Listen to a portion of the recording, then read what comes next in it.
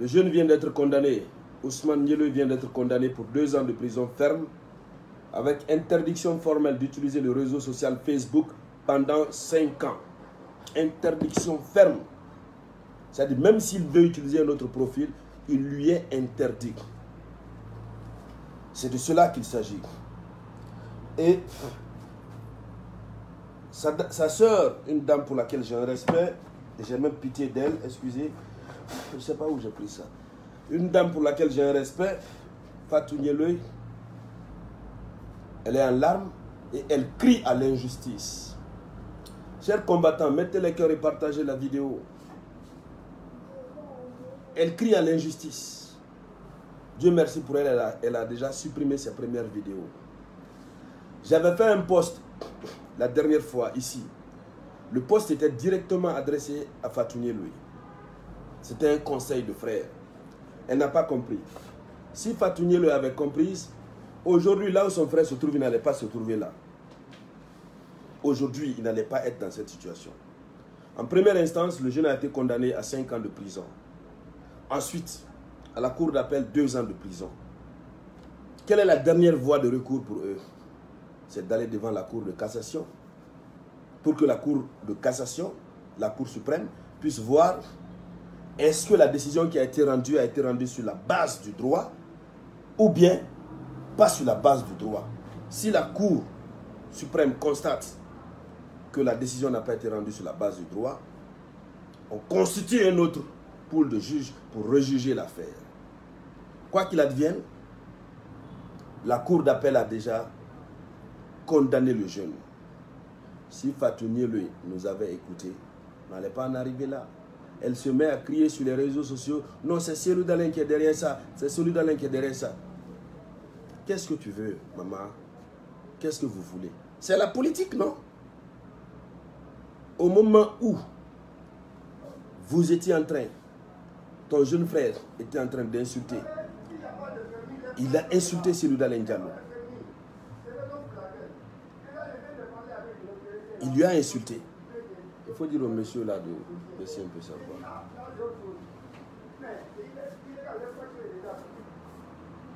C'est bon, laisse-le. Donc, le jeune insultait. Il a insulté Célou Dalin Diallo.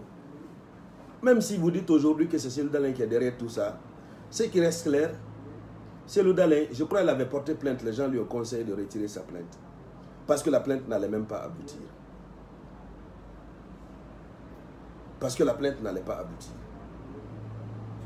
Donc, Dalin a laissé tomber pour lui. Si aujourd'hui le pouvoir a changé de camp et qu'on mette main sur le jeune, il est jugé et condamné, vous voulez qu'on fasse quoi? Il faut lui parler, il faut lui faire comme ça. Vous voulez qu'on fasse quoi?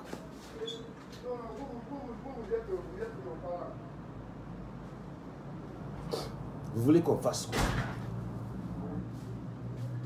C'est ça le problème. Le jeune a insulté devant tout le monde ici. Avant le jugement là, Fatounier lui, fallait te mettre dans une logique de pardon. Va demander pardon deux cas. Ça allait apaiser au moins les choses. Mais vous avez voulu faire le cœur, le gros cœur. Ciel n'a rien à voir avec cette affaire. Et d'ailleurs, là où il est comme ça, Célou Dalin aussi peut chercher à aggraver la situation. Parce que Célou Dalin a été insulté. J'entends les arguments selon lesquels non, c'est pour que Niel reste en prison jusqu'à euh, euh, euh, lors des campagnes électorales parce que l'UFDG a peur de, comment il s'appelle? l'UFDG a peur de, de, de etc.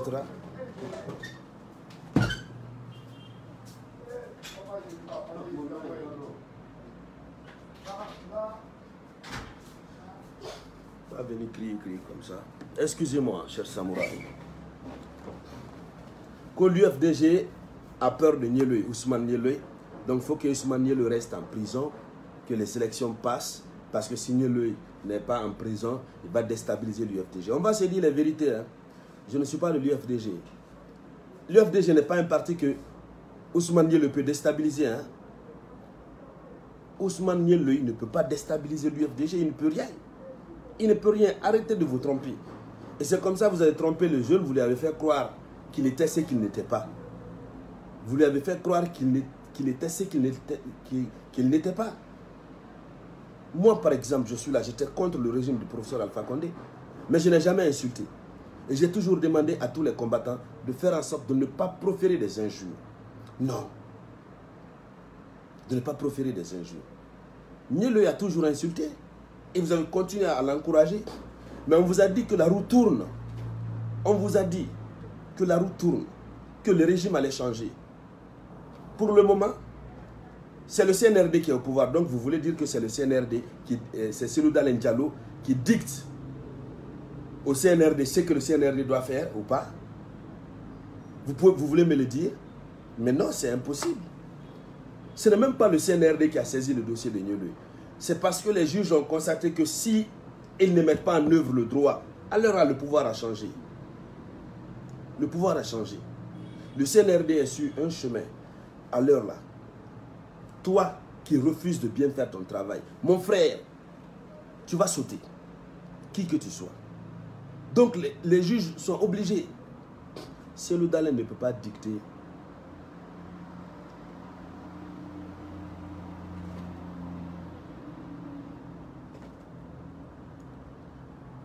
Célou Dalin ne peut pas dicter des ordres au CNRD. Je ne vois pas. Je ne vois pas. Donc, maman des pauvres, Fatougne lui, c'est encore le samouraï.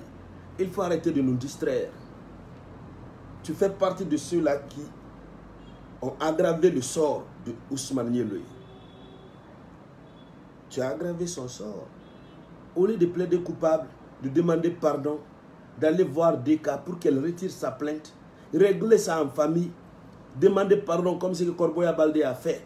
Demander pardon. Chacun peut commettre des erreurs. Vous avez été embobiné. Vous avez été embobiné dans un conflit politique que vous ne connaissiez ni la tête ni la queue. On vous a mis dans une danse que vous ne maîtrisez pas. Et voici aujourd'hui, quand je la vois dire, ah le RPG, je vous regarde. Elle est à bout de souffle. Elle est à bout de souffle le RPG va faire quoi? Le RPG va faire quoi? Qu'est-ce que le RPG peut faire? Le RPG n'a plus de pouvoir. Et aujourd'hui, c'est Fatounielou qui dit que c'est de l'injustice. C'est toi qui cries à l'injustice. Pendant que nous, on criait à l'injustice, pendant que les gens étaient là en prison, Mamali Onivogui était en prison ici. Son mariage s'est célébré. Eh, Gina, son mariage s'est célébré à son absence. On l'a arrêté le jour de son mariage. C'est pas de l'injustice ça. Qu'est-ce qu'on le reprochait? C'est pas de l'injustice? On a crié haut et fort. Voici aujourd'hui, Niel se trouve devant les, euh, derrière les barreaux. Moi, ça me fait mal, hein? sincèrement parlant. Ça me fait plaisir d'une part et ça me fait mal d'une part. Donc j'ai un sentiment mitigé. Ça me plaît pourquoi? Parce que, enfin, ceux qui se prenaient pour des supra-citoyens, c'est-à-dire qui sont plus citoyens que les autres, aujourd'hui, on a démontré aux yeux du monde que aucun citoyen n'est supérieur à autre. Même aujourd'hui, tous ceux qui sont avec les nouvelles autorités là, vous posez des actes en excès si vous êtes soutenu par les autorités actuelles. Quand le pouvoir va changer demain, vous allez vous retrouver dans une situation difficile. C'est clair et net. C'est la loi de la nature, c'est la loi de la vie. C'est ça le problème. Ça me fait plaisir parce que la condamnation de Nyoloy, je répète, c'est la deuxième fois. J'avais dit cela dans une vidéo précédente. Sa condamnation permet aujourd'hui aux gens de comprendre qu'il y a des choses qu'on ne doit pas faire, qu'il faut éviter. Aucun citoyen n'est supérieur à l'autre. Vous avez vu la foutaise que Nyoloy faisait? Mais ça me faisait mal. Et moi-même, personnellement, chaque fois que je faisais des lives ou je faisais une publication, il venait en commentaire pour me dire Grand frère, mon problème de mandat d'arrêt. Et puis il se tapait la poitrine, il est libre, il, circule, il circule à Kaloum. Personne ne peut mettre la main sur lui. Il a défié notre justice. Il a défié les avocats. Il a défié tout le monde. Tout un système judiciaire. Il fallait enfin qu'on mette main sur lui. Ah oui, que la justice prouve qu'elle existe. C'est là où ça me fait plaisir. Mais ça me fait mal parce que c'est un jeune. Ça me fait mal parce que c'est quelqu'un qui n'a même pas encore commencé sa carrière. Deux ans de la vie d'un jeune frère, l'expérience de vie des hommes aujourd'hui, notamment en Guinée, ce n'est pas beaucoup. Deux ans de ta vie, lorsqu'on prend ça, on te met en prison à cause d'un vieillard, à cause de quelqu'un qui est prêt à aller, quelqu'un qui a tout fait dans la vie, qui a tout eu, à cause de la politique, on te met en prison. Aujourd'hui, là où il est, Alpha Condé n'a qu'à le libérer. Le RPG dont vous faites allusion là, que le RPG, RPG parte le libérer. Laissez-moi les cœurs et partagez la vidéo. On est à combien de partages? Je ne vois pas les partages. Partagez-moi la vidéo. Partagez. Vous savez que la page dit des partages. Partagez-moi la vidéo. Partagez-moi la vidéo. Voilà. Partagez la vidéo. Partagez, partagez. On a 21 partages. Voici la vidéo qui passe. Cliquez juste ici sur partager. Voilà, à votre droite, c'est écrit partager dans les groupes. Vous cliquez là-bas, partagez dans les groupes. Les groupes vont s'afficher tout de suite. Vous ne ferez que cliquer, voilà, partager, partager et puis ça part. Donc partagez au max. On a un problème avec euh, la connexion, euh, euh, la page. Il y a Suleiman Kondé qui dit, il y a Sekou Kondé qui dit, Madi Kondé, Ismaël Kondé, ils étaient derrière lui. Les condamnations, maintenant, ils payent le prix. C'est ça le problème, ils payent le prix. Ils payent le prix. Ils payent le prix. C'est ça. Donc, moi, je ne comprends pas. Je ne comprends pas. Donc, voici les deux. Les deux sentiments que j'ai. J'ai un sentiment mitigé vis-à-vis de la condamnation de Nielou. Ça me fait plaisir, d'une part, mais d'autre part, ça me fait très mal parce que c'est un jeune. Et c'est sur la dernière partie que je m'appuie. Frère, tu me suis aujourd'hui ou tu auras l'occasion de me suivre. Mon nom c'est Robert Théa. Je suis spécialiste en démocratie et bonne gouvernance. Le conseil c'est quoi, frère? Il y a un système qui a été instauré par le régime du professeur Alpha Condé. Ils ont fait comprendre aux jeunes que pour être un bon homme politique, il faut insulter. Il faut mentir. Il faut mettre de côté ta dignité. Il faut voler. Voilà ce qu'on a enseigné. Voilà ce que le régime du professeur Alpha Condé a enseigné à la jeunesse. Et Ousmane Niele, lui, il a choisi d'être du camp de ceux-là qui insultent.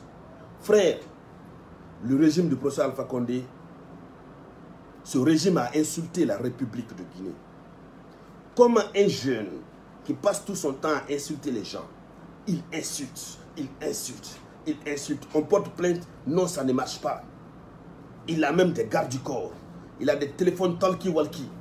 Quand il est prêt, il, appelle une équipe de, de, de, comment de militaires. Des pick-up viennent. Quelqu'un qui insulte, qui procède à des injures publiques. Des infractions prévues et punies par le code pénal guinéen. On lui donne un satisfait on lui donne un satisfait. L'objectif du régime du professeur Alpha Condé, c'était de faire en sorte de changer négativement la mentalité de la jeunesse. On vous dit que lorsque vous voulez détruire un pays, il faut détruire la jeunesse. Et c'était ça l'objectif. Comment dans un pays où le dirigeant et les dirigeants ont l'amour pour la patrie, on peut accepter, même si on déteste notre nation, comment, comment, mais chacun de nous est père de famille normalement. Qu'on ait des enfants ou pas, mais à un certain âge, nous sommes des pères de famille. Comment on peut accepter dans un pays normal que des gens qui profèrent des injures puissent obtenir des satisfecits Ils sont gratifiés parce qu'ils insultent?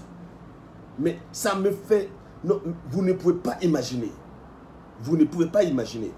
Et alors, c'était devenu la mode. C'était ça la mode.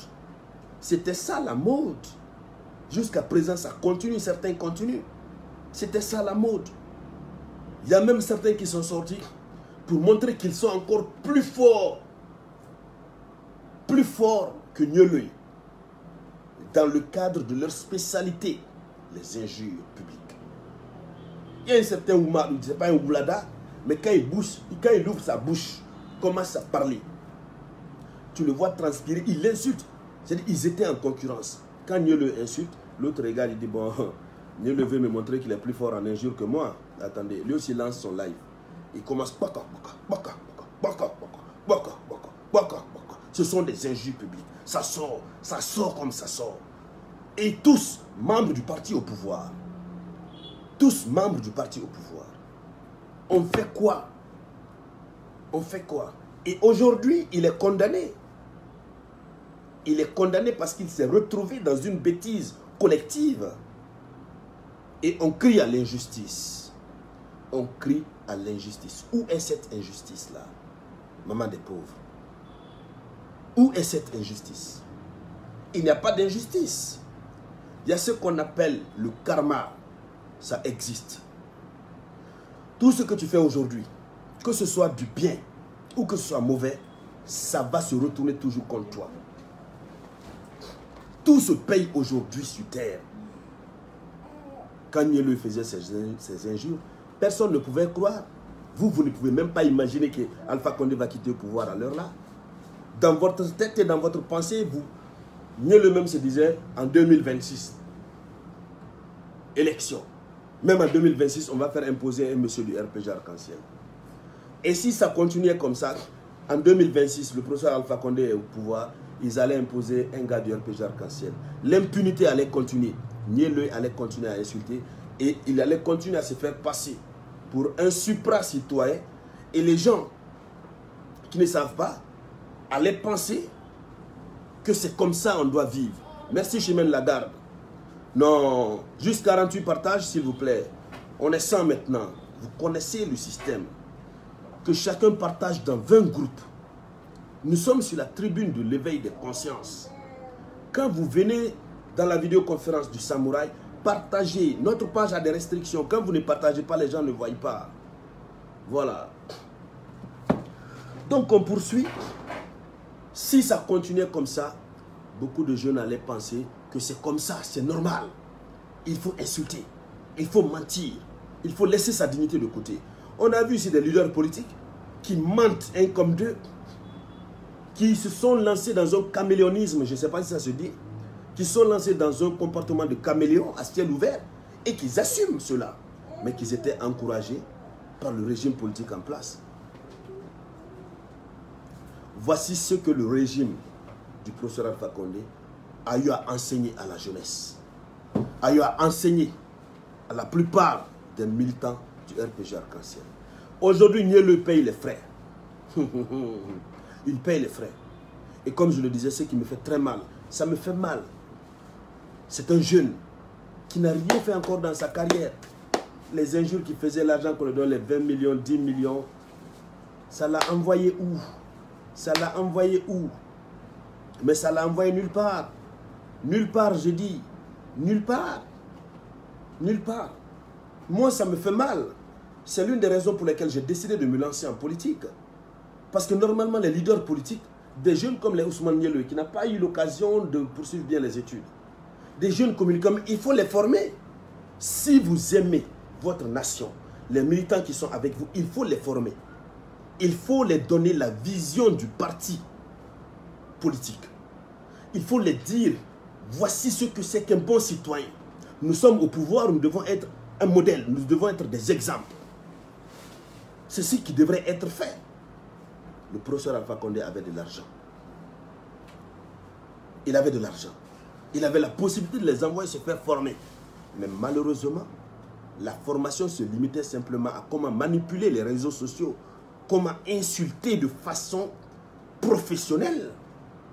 Mais ça fait mal. Ça fait mal. Aujourd'hui, Niel est en train de payer les frais de ce qu'on les a ce dans quoi on les a mis. Malheureusement, je répète encore une fois, ce qui me fait mal, ce qui me fait mal, malheureusement, c'est parce que le jeune et lui et les autres se sont retrouvés dans un système. Ils ont été piégés par le professeur Alpha Condé. Sinon, lui, il est venu à quel, moment au RPG Arc-en-Ciel? Ils ont été piégés. Ils se sont retrouvés dans un système où on les a mis dans la doctrine du mal. On les a mis dans la doctrine du mal. Et sans réfléchir, en voyant l'argent, ils sont partis vers cette doctrine. Ils sont allés, ils sont entrés. Un jeune comme Nieleux, c'est quelqu'un qui est courageux. C'est quelqu'un, quand il fait quelque chose, il n'abandonne pas. Il est opiniâtre. Malheureusement, voici des gens comme ça que le RPG arc-en-ciel récupère. Et il te met la doctrine du mal dans ta tête. Et c'est cette doctrine du mal que les jeunes ont épousée. Ils ont continué à faire du mal, à diviser les gens, à insulter les gens. Et ils se tapaient la poitrine. Je peux insulter, rien n'en sort. Je peux insulter, rien ne sort. Et ils pensaient qu'ils luttaient contre Seloudal et Ndialo. Seloudal n'a rien à voir dans ça. Et aujourd'hui, où sommes-nous? Oui, Kadi Diallo, ils ont profité de leur désir fou. Avant de continuer la vidéo, on est 120. Que chacun partage dans 20 groupes. Laissez-moi voir, on a combien de partages. Chimène Lagarde, la secrétaire des vidéoconférences du Samouraï. On a combien de partages? 87 partages, regardez, ça ne ressemble pas au Samouraï. Regardez, 87 partages. Non, ça ne me ressemble pas. Regardez, voici la vidéo qui passe. D'accord? La connexion maudite de Orange. Voilà. Ça prend pas. Donc partagez-moi la vidéo. Vous connaissez, c'est très simple. Cliquez ici sur partager. Vous cliquez sur partager. Vous allez voir à votre droite de l'écran, c'est écrit partager dans les groupes. Vous cliquez là-bas, vous attendez, vous ne ferez que cliquer sur partager, partager, puis ça part. Donc laissez-moi les cœurs déjà. Voilà, laissez-moi les cœurs, laissez-moi les cœurs. Donc c'est de cela qu'il s'agit. C'est de cela qu'il s'agit. Moi, la dame Fatou j'ai pitié d'elle. Sincèrement parlant, j'ai pitié d'elle. Et même Nieleu, j'ai pitié de lui. Ils se sont retrouvés dans un système, ils ont été pris au piège. Ils ont été pris au piège. Ils ont été pris au piège. Ils n'ont pas vite compris. Ils se sont laissés aller dans le désir fou d'être euh, au sommet. Pourtant, le RPG savait ce qu'il faisait. Voici aujourd'hui, vous êtes abandonné. Quand Fatou a organisé la dernière fois la mobilisation pour aller demander la libération de son frère, maman des pauvres, combien de personnes sont venues? Combien de personnes du RPG Arc-en-Ciel sont venues? Combien de personnes On les comptait du bout du doigt. Aujourd'hui, vous êtes abandonnés. Vous êtes abandonnés. Et cela doit servir de leçon à tous les jeunes. Aujourd'hui, le CNRD est au pouvoir. Ceux qui ont la chance d'être proches du pouvoir, frères, il faut se ressaisir. Il y a des valeurs en tant que jeune, en tant que citoyen, que chacun doit chercher à incarner. Il y a des valeurs que chacun doit respecter. Il y a des valeurs. C'est-à-dire quand tu es jeune, quand on te voit, on doit savoir, oui, ce jeune-là, il mérite le respect et l'admiration parce qu'il a des valeurs qu'il défend. Il a des valeurs qu'il veut incarner. C'est en cela, vous aurez la célébrité, vous aurez la gloire. C'est en cela que même après le régime, euh, euh, le régime en cours, un autre régime qui vient va vous faire recours. C'est clair. Vous étiez tous communicants du RPG Arc-en-Ciel. Laissez-moi vous dire, le jeune, comment il s'appelle, Arafa Makaya Djapi, il risque même de travailler avec le CNRD. Parce qu'il a été constant, il a été cohérent. Il ne s'est jamais mis dans une logique d'injure, une logique de transgresser les textes. Même si dans les guerres politiques, dans la politique c'est à la guerre comme à la guerre, même s'il avait ses stratégies à lui, mais il n'est jamais allé dans l'excès. Ça doit pouvoir servir de leçon. Fatou lui, maman, maman des pauvres, j'ai pitié pour elle. Mais il faut arrêter de nous tympaniser. Il faut arrêter de nous embrouiller. Il ne faut pas prendre Célou pour responsable de ce qui arrive à ton jeune frère. Du moment où c'est ton jeune frère lui-même qui allumait sa caméra. Quand tu allumes ta caméra pour t'asseoir là, derrière la caméra, c'est pas quelqu'un qui te pousse, hein. c'est ton idée. C'est lui-même qui allumait sa caméra pour s'asseoir et dire ce qu'il pense tout ce qui lui traversait l'esprit. C'est de cela qu'il s'agit. C'est de cela qu'il s'agit. Et donc, il fallait reconnaître que ton jeune frère est en erreur et demander pardon. Il fallait le faire. Et maintenant, là, vous voulez impliquer Célou Dalin. Je ne suis pas du parti de Célou. Je le dis très souvent, régulièrement d'ailleurs. Je suis un spécialiste en démocratie et bonne gouvernance. Je suis enseignant-chercheur en faculté de droit, la plus grande faculté, la plus grande université de la République de Guinée. Je suis un activiste politique. Et ici, c'est la tribune de l'éveil des consciences. Seloudalé n'a rien à voir avec ça. Mais peut-être c'est le péché contre Seloudalé qui est en train de rattraper ton frère. Peut-être. Parce qu'un père de famille comme ça, toi tu passes toute la journée en train de l'insulter. Nous autres, on ne comprend pas pour l'arrêt. Mais il y a des mots là. Dès que même tu vois la manière dont c'est écrit, tu comprends que c'est de l'injure. C'est pas ça la politique. Non. Dundo, qu'on a politique? Si tu ne comprends pas en français, là, si vous ne comprenez pas, là, on va dire en poulard. Dundo, qu'on a politique? Fait où? Mhm. Comment on dit un jour en poulard? Hein? Voilà. Kukumbijo. Kukumbijo. Ah, Voilà. Ça, c'est pas la politique. Ce n'est pas la politique. La politique, lorsque tu fais partie tu es militant d'un parti politique. C'est de vendre l'image du parti. Par exemple, moi, je serais content que ces militants partent sur les, zones des radios, qu'ils disent oui, on a construit Garafri, et comment Kalita, voici, voici comment ça s'est passé. C'est ça le rôle des communicants des partis politiques. Expliquer, faire comprendre au peuple, généralement, lorsque c'est un communicant du parti au pouvoir, expliquer, faire comprendre au peuple ce que le pouvoir en place est en train de faire pour permettre aux, populations d'adhérer aux actes posés par le pouvoir en place. C'est ça la politique. C'est ça la politique. C'est ça être un communicant. Ailleurs, ces communicants-là, ils représentent même parfois le parti dans les grandes instances sur le plan international. Ils partent dans des forums. Même s'ils ne sont pas intellectuels, ils partent dans des forums. Ils ont leur avis à donner. C'est ça. C'est ça le rôle des militants des partis politiques, une partie du rôle des militants des partis politiques. Mais on a constaté malheureusement, et ça fait pitié, que le système les a engloutis. Et Ousmane Nielo n'est pas le seul. Bientôt, vous allez voir d'autres qui vont être traduits en justice. J'aime souvent vous donner mon exemple. Moi, Robert Théa, la dernière fois, je parlais, j'échangeais avec une de mes anciennes étudiantes là, euh, qui a son mari du côté de Paris.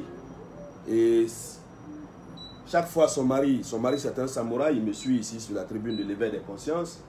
Chaque fois son mari, son mari lui dit, mais écoute, je suis sur la page d'un certain Théa Robert là, il parle, il est éloquent, etc. Bon, c'est pour reprendre ses propos. Il est éloquent, je crois il vit à Paris. Donc lui, il pensait que moi, je vis à Paris. En tout cas, beaucoup pensent que je vis à l'extérieur. Pourtant, parce que pendant le régime du professeur Alpha Condé, je suis le seul parmi les influenceurs ou les blogueurs qui vivaient en Guinée et qui osaient s'attaquer de façon farouche, de façon régulière au professeur Alpha Condé et à son régime. Pendant que je suis à Conakry, pendant que je donne sur les réseaux sociaux ma position, chaque fois que je faisais des vidéos, je dis toujours, tous mes samouraïs ont même fini par connaître où je loge, où j'habite. J'habite à Lambaye, mon bureau est à Lambaye. Je parle de cela pourquoi? On pouvait m'arrêter à tout moment, mais les gens n'avaient presque pas de preuves. Parce que malgré que nous étions dans le jeu politique, les injures ne sortaient jamais de ma bouche. Non des comportements qui sont de nature à violer la loi. Ces comportements-là, je ne les ai jamais épousés. C'est pourquoi beaucoup sont souvent surpris pourquoi je n'ai pas été arrêté, pourquoi je n'ai pas été arrêté. Beaucoup pensent même, beaucoup parmi vous, vous pensez que je suis à l'Occident, je suis quelque part là-bas. Parce que pour eux, bon voilà, la connexion coûte cher en Guinée. Et généralement, celui qui est là régulièrement en train de faire des vidéos, peut-être est à l'extérieur. Et puis on ne peut pas être là et puis oser dire certaines vérités à un régime de dictature. C'est bien sûr possible. C'est bien sûr possible. Lorsque vous connaissez ce que vous devez dire et ce que vous ne devez pas dire. C'est de cela qu'il s'agit. C'est de cela qu'il s'agit. Il y a eu trois tentatives de mon arrestation. Mais tout cela était basé, c'est-à-dire il n'y avait pas de fondement. Il n'y avait pas de preuve. Mais Ousmane lui, lorsqu'il a nié les faits pour la première fois, quand on a projeté, je crois que c'était la semaine dernière, quand on a projeté dans la salle un de ses lives où il insulte, il y a un juge qui est resté assis, il a tressailli. Tout le monde était mal à l'aise dans la salle. Voici une preuve. Donc encore une fois,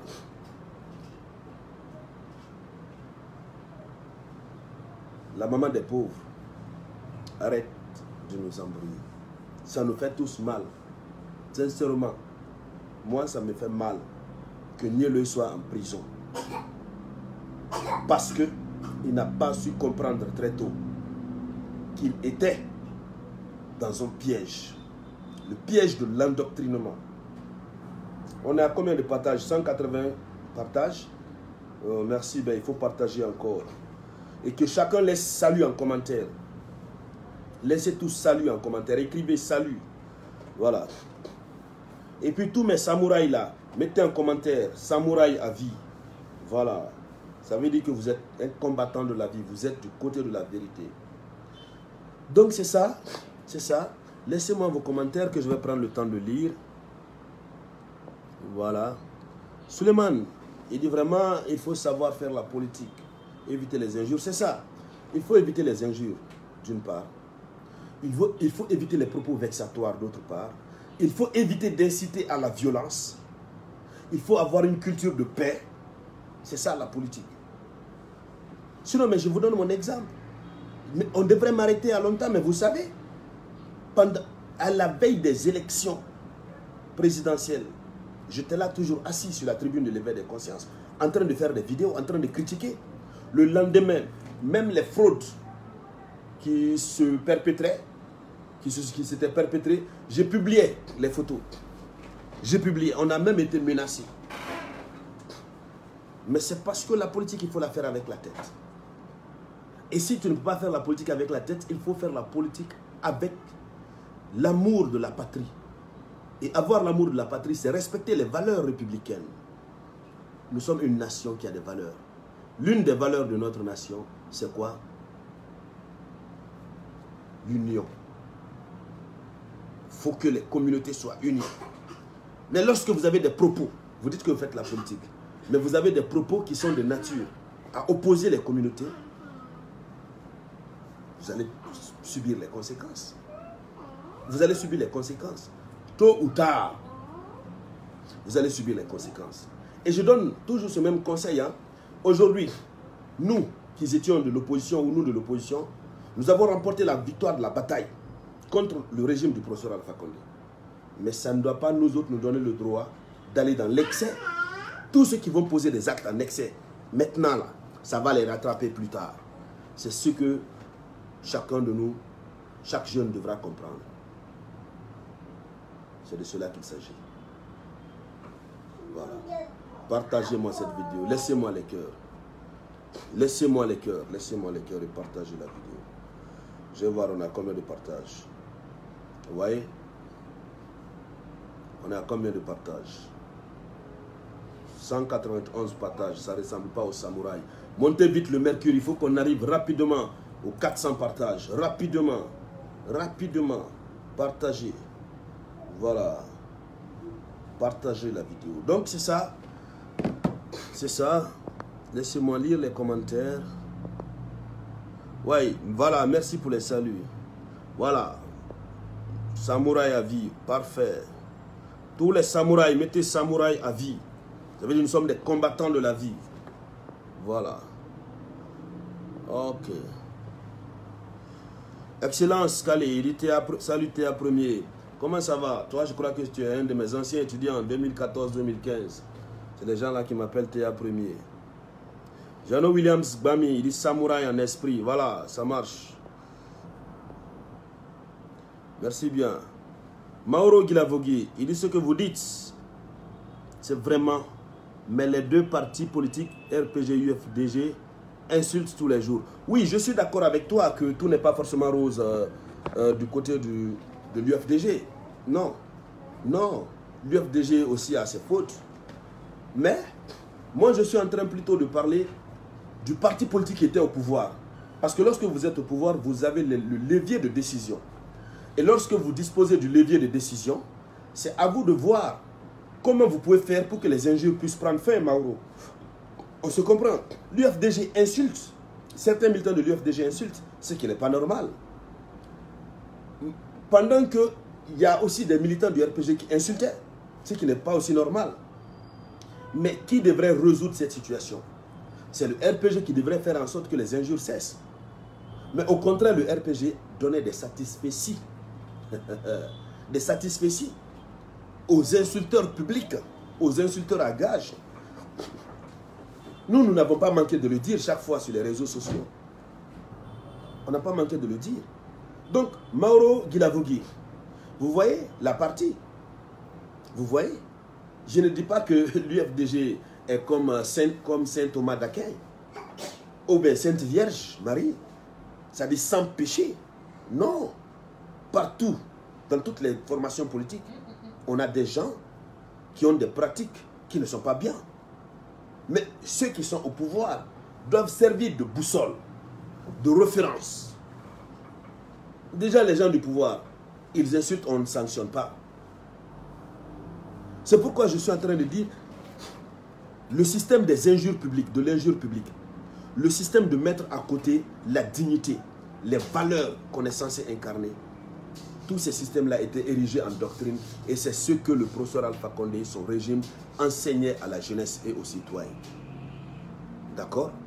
Donc, ça se passait au sein du RPG, on appréciait, on donnait des satisfactions et ça se passait aussi au niveau des autres partis, tels que l'UFDG. On faisait bouche bée, on les encourageait. Non, allez-y, allez-y, allez-y, continuez. Notre Guinée doit continuer comme ça. C'est ce qu'on voulait imposer aux Guinéens qu'on soit, j'ai même fait une vidéo là-dessus, Mauro Guilavogui. C'est pourquoi j'avais lancé, si vous me suivez depuis longtemps, j'avais lancé le programme Déconstruire pour reconstruire. Que beaucoup de jeunes forestiers n'avaient pas compris. Ils ont dit, mais qu'est-ce que vous voulez déconstruire? Vous voulez reconstruire quoi? Ces mentalités-là, ces manières, cette manière de faire qui est dépassée, qui est abjecte, qui est surannée là, cette mauvaise manière de faire que le régime était en train d'inculquer dans la tête de la jeunesse, c'est contre cela que nous nous sommes levés. Et c'est contre cela que nous sommes toujours levés. La République se transformait en un caravansérail.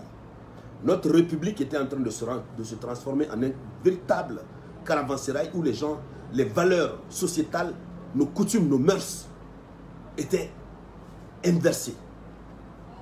Tu pouvais voir un, un enfant de rien du tout qui insulte les parents des autres. Et puis, rien à dire. Rien à dire. L'ordre des choses était inversé. C'est de cela qu'il s'agit. Et c'est en se référant à cela que je dis qu'ils étaient piégés. Eux-mêmes, ils ne le savaient pas. Mais malheureusement, quand nous, on parlait, un jour, j'ai eu à parler avec Nieloy. Il m'a appelé. Il m'a dit, grand frère, voilà, et on a causé. Mais je n'ai pas manqué de dire à Nieloy, il faut sortir des injures dans nos coutumes, dans nos traditions. Nous sommes des Guinéens. La Guinée a quatre régions naturelles. Au sein des différentes régions naturelles, on a des divergences culturelles. Mais dans le cadre de nos coutumes, même si on a des divergences en matière de coutumes, mais il y a des pratiques qui sont universelles. Le respect qu'on doit accorder aux aînés, l'honneur, la dignité. Il y a des, des, trucs de façon morale, qui sont des points de convergence entre les différentes, les différentes composantes de la nation, les différentes communautés des régions naturelles. C'est de cela qu'il s'agit. Donc, le RPG arc-en-ciel devrait servir de référence en tant que parti au pouvoir.